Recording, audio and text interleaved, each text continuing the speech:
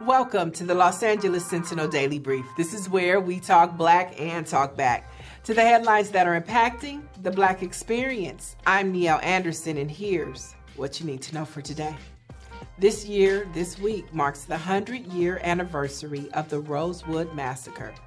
The Rosewood Massacre was a racially motivated attack on black people and the destruction of a black town in Florida.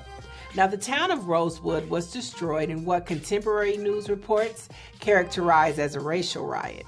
Florida had an especially high number of lynchings of black men in the years before the massacre.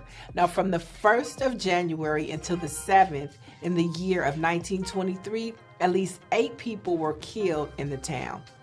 Now, for the past hundred years, the story has been told from one generation to the next from the eight families who survived the massacre a wreath laying ceremony, a docudrama, and movie screenings, plus an awards gala and panel discussions are happening throughout the month to remember, to reflect, and to amplify what happened to black folks in that town.